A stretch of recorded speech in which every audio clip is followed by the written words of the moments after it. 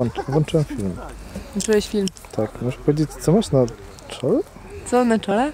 Na czole moje e, uwidocznione trzecie oko. Ja, kiedy ono się pokazało?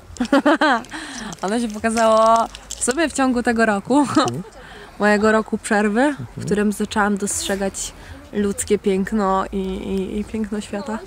Tak. I potrzebowało mi po prostu było trzeciego oka, bo jest tyle piękna do zobaczenia, że no nie, mo- nie mogłam. Nie mogłam. A teraz jestem... E, Ale widzisz jeszcze większą ilość oczu, czyli jeszcze tyle więcej piękna zobaczyłaś, tak? Że aż ci wyrosły, jak piegi. Jak u pana Kleksa. Głupa na Gleksa, tak, trochę tak. Tylko zamiast Dokład- piegów oczy, no. O. Dokładnie. No żeby wiesz, widzieć Mhm. tyle piękna na raz. Trzeba się patrzeć wszędzie. Dostrzegać. Malutkie piękna. Malutkie piękna, o. Jakie malutkie piękno dzisiaj widziałeś. Ta kora jest piękna, a zobacz ile mamy kory na świecie. Prawda.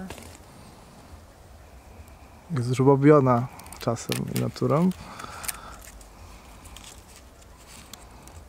Co można zrobić z kory?